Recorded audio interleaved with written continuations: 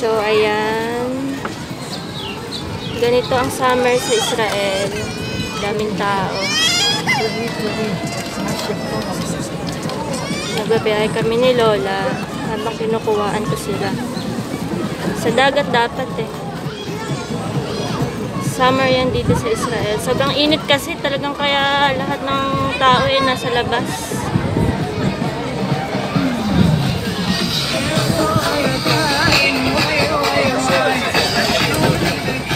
look siya.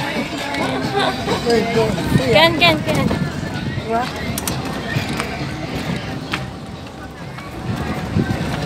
Nasa iya yun.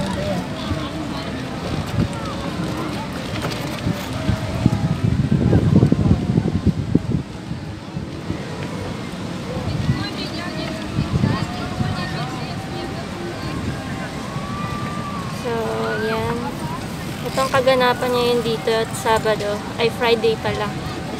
Pero bukas Sabado ay ganyan din yan. Madaming tao talaga. Madaming tao sa dagat. Di ba?